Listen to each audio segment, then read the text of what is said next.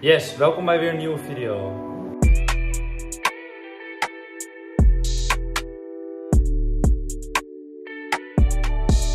Vandaag gaan we het hebben over Monk Mode.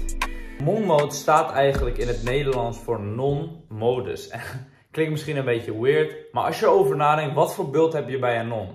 Een non is een persoon die leeft in een klooster. En een klooster is een plek met extreme discipline, eigen, eigen kring, heel erg op jezelf gefocust. Dat is eigenlijk wat een non is.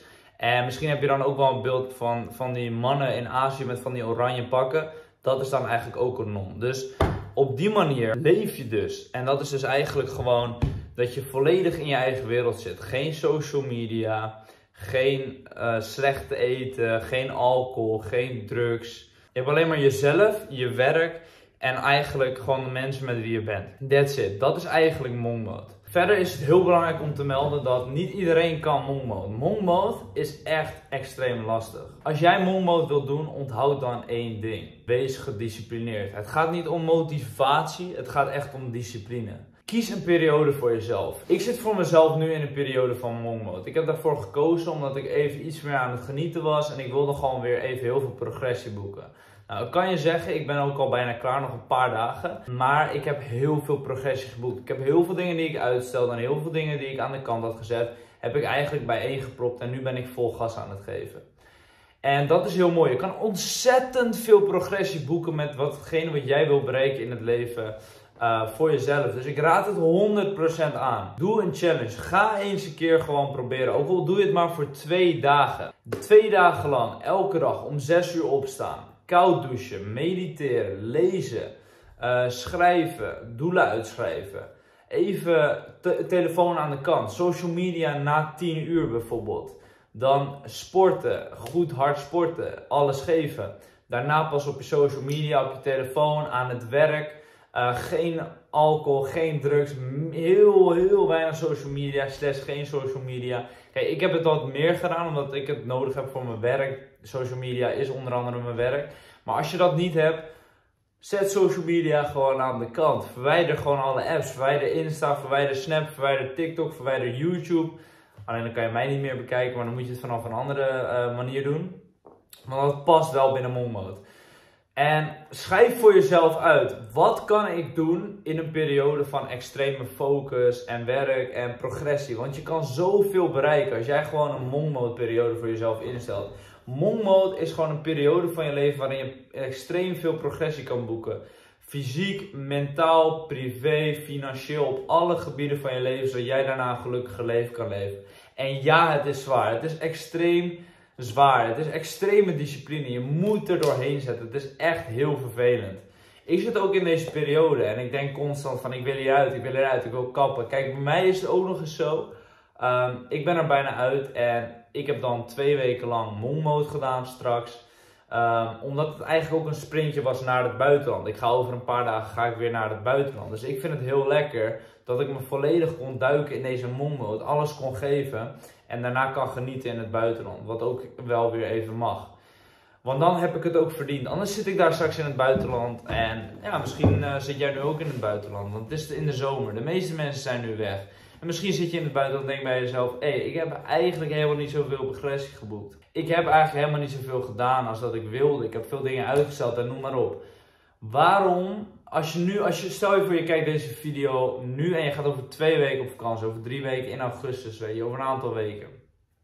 Stel voor jezelf deze monk periode in. In plaats van dat je zoals de meeste mensen gaat suipen de hele zomer. In plaats van dat je zoals de meeste mensen gewoon met z'n allen lekker gaat feesten, gaat suipen, gaat genieten. Uh, noem maar op. En ja, je moet genieten. Maar ja, gaat straks al genieten, want je gaat al op vakantie.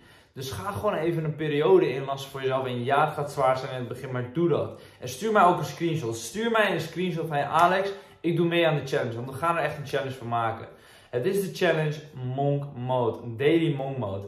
Als jij meedoet aan deze challenge, je kijkt deze video en je doet mee aan deze challenge, stuur mij een screenshot in de DM, want ik vind het geweldig om dat te zien. Ik vind het geweldig om te zien dat je meedoet aan de challenge, dat je dit serieus neemt en dat je ook echt alles geeft.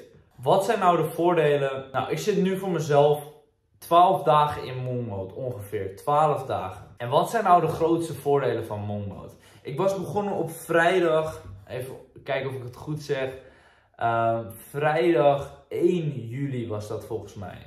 Ja, toen op die dag ben ik begonnen, in de avond. Ik ben begonnen en ik dacht ook bij mezelf, oké, nu moet ik gewoon weer even focussen. Ik had even te veel genoten, ik had net mijn rijbewijs gehaald, dus voor mij was het even een weekje genieten. Ook in die week heel hard gewerkt en et cetera. Maar ik heb veel auto gereden, veel genoten met vrienden, met familie. En toen dacht ik bij mezelf, oké, over twee weken ga ik weer op vakantie. Ga ik zeg maar weer reizen voor werk en noem maar op. En dan ga ik leuke dingen doen. Laten we gewoon even een periode inlassen waarin ik alles ga geven. Waarin ik gewoon echt mezelf even kan bewijzen. Waarin ik over een jaar, over een half jaar kan terugkijken. En dat ik bij mezelf denk van ja, jij hebt het toch even geflikt. Jij hebt toch een periode gehad in je leven. En ik heb dat twee jaar geleden ook gedaan. Waarin je gewoon extreme grind had en was. Want dan kan je niet zeggen, oh hij werkt niet zo hard. Hij is geen grinder. Dat ben ik wel, dat kan ik van mezelf zeggen. De afgelopen 12 dagen en vooral in het begin. Ik heb nu iets afgezwakt omdat ik ook in de tussentijd ziek ben geworden. Maar ik, heb het, ik ben echt veel progressie gaan boeken. Alle taken die ik heb uitgesteld daarvoor, die heb ik allemaal afgewerkt. Het ging allemaal heel snel. Het ging gewoon pap, pap, pap, pap, pap. Omdat je gewoon complete focus hebt voor je bedrijf. Je hebt complete focus voor jezelf, voor je bedrijf. Ik heb heel veel meer verdiend dan normaal. Ik heb veel meer uh, progressie geboekt in de gym. Ik ben veel breder geworden in die tussentijd. Ik ben elke dag namelijk naar de sportschool geweest op één dag na. Um, en ik ga de komende dagen ook nog. Dus in 2,5 week tijd ben ik gewoon niet de gym gaan skippen op één dag na. Dus dat zijn hele mooie dingen. En ik heb ontzettend veel voordelen aan deze periode gehad. Het is alleen, als ik kijk naar de nadelen, uh, het is echt, echt heel vermoeiend. Mentaal vooral. Het is mentaal dat je bij jezelf denkt, ik zit in een gevangenis. En het is fucking zwaar. Ik wil eruit. Ik wil er gewoon mee kappen. Ik wil gewoon lekker losgaan. Lekker feesten. Lekker zuipen. Lekker dit. Dat wil je mentaal. Maar je moet in je gedachten houden. Ik ben hier voor de lange termijn. Ik ben hier niet voor de korte termijn. Want als ik hier ben voor de korte termijn. Dan ga ik dat ook doen. Dan ga ik lekker feesten. Dan ga ik naar een festival. En ik zit ook op mijn telefoon. Want dat is ook mijn werk. En ik zie ook gewoon iedereen lekker feesten en dit en dat. Iedereen vraagt, Alex, waar ben je? Alex, waar ben je? Enige wat ik moet zeggen is, ik ben even gefocust. Ik ben on the grind. Maar we hebben zoveel progressie geboekt met het bedrijf dat ik daar ook heel veel, ja, voldoening en blijdschap ook uithaal voor mezelf. Ik ben ontzettend blij en trots dat we met het bedrijf, met mijn uh, infobusiness vooral, coaching business, gewoon heel veel progressie aan het boeken zijn achter de schermen. Dat we gewoon echt, echt hard hebben geknald en nog steeds tot de dag van vandaag gewoon heel veel aan het doen zijn. En ik kan straks gewoon lekker gaan reizen met de gedachte van oké, ik heb fucking veel gedaan. En nu verdien ik aan de lopende band weer geld, want ik heb van alles gecreëerd. Je moet geldmachines creëren voor jezelf. Bouw aan die geldmachines. Zorg ervoor dat jij aan die geldmachines bouwt en dat jij op de juiste momenten kan genieten van je leven. Zodat je niet alleen maar hoeft te werken voor geld, maar dat je ook kan chillen en genieten van het leven. Want daar doen we het voor, voor de vrijheid dat ik zomaar, dat ik zo meteen even naar Bali kan gaan of naar UK of naar Dubai of naar Miami. Dat ik daar kan genieten, dat ik daar kan leven zoals ik wil en ondertussen geld blijf verdienen. Dat is het ultieme droomleven voor mij in ieder geval en misschien voor jou ook. Passief geld verdienen, semi-passief, systemen bouwen vooral. Geldmachines bouwen die jou op elk moment, waar je ook bent op aarde, geld gaan opleveren. En dat je gewoon lekker kan genieten van het leven. Want daar gaat het echt om. Geld is belangrijk, maar je moet cashflows, je moet voor jezelf geldmachines opbouwen. Dit is voor mij mijn ervaring voor twee weken Monk Mode. De volgende challenge voor mij gaat zijn dat ik een maand lang Monk Mode ga doen. Want twee weken is leuk en twee weken heb ik goed volgehouden. Heb ik mijn best voor gedaan. Elke ochtend voor 7 uur uit, max half 8. Ochtendroutine, koud douchen elke dag, mediteren elke dag, lezen elke dag, affirmaties elke dag, um, doelen opschrijven elke dag focusuren elke dag met Brain FM. Dat is een hele handige app die je kan gebruiken tijdens je focusuren. Gewoon rammen. En elke dag sportschool op één dag na, dat ga ik ook heel eerlijk zijn. Zoveel progressie geboekt, gezond eten alleen maar. Ik heb ook alleen maar meal prep bakjes. Dus ik, het enige wat ik doe is gezond eten en gezond leven en me goed voelen. Hier, alleen hier is het slopend, is het vermoeiend, is het zwaar. En ik ga zo erg ik ben zo blij als ik zo meteen uit deze periode ben. Als ik zo meteen echt even weg ben. Als ik even gewoon mijn ding kan doen. Natuurlijk ben ik daar super blij voor. Maar je moet ook deze periodes hebben. Hard genieten, dat komt, is een resultaat van hard werken. Je moet knijter hard werken af en toe. Je moet gewoon af en toe periodes voor jezelf inlassen. Die zegt nee, fuck alles. Zeg nee to the bullshit. Nee, nee naar het feesten. Nee naar um, alcohol, drugs korte termijn dingen, chillen. Nee, we gaan echt even grinden, we gaan echt even focussen. En dan verdien jij ook alles wat jij krijgt in je leven als je deze periodes hebt. Mijn volgende periode gaat zijn in Bali. Ik ga namelijk over een paar maanden naar Bali. Eigenlijk is dat ook al redelijk binnenkort. En dan wil ik een maand lang Mongmo doen. En ik ga er een paar maanden heen. Dus één maand daarvan wil ik dat doen. En natuurlijk wil ik ook feesten en dat soort dingen. Maar één maand lang ga ik Mongmo in Bali. En ik ga je meenemen, want ik blijf YouTube. Op YouTube, ik vind het heel leuk. En ik waardeer zeker de support. Ik waardeer de liefde. Ik waardeer uh, onze ja, onze groei, weet je. En we zijn een mooie community aan het oprichten. We zijn een bedrijf aan het bouwen. We zijn echt met z'n allen aan het knallen. Iedereen die op mij is geabonneerd, die weet hoe belangrijk het is om af en toe te grinden. En die zijn ook zeker grinders. En ik vind het mooi om te zien.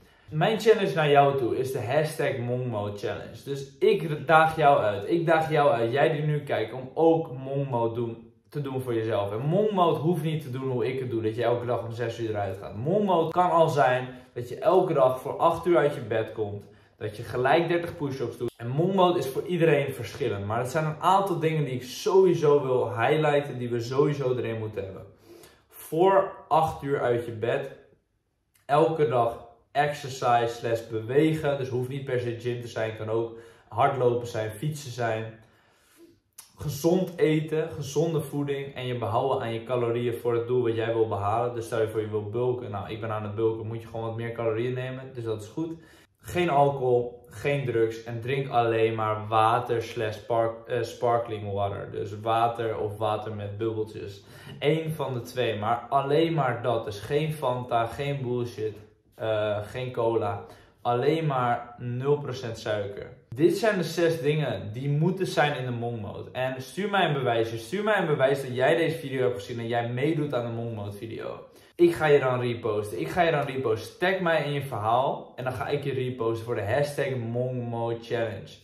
En dan gaan we even knallen voor de zomervakantie. En dan gaan we zo hard beesten in de zomer. Heel veel plezier en uh, houden contact.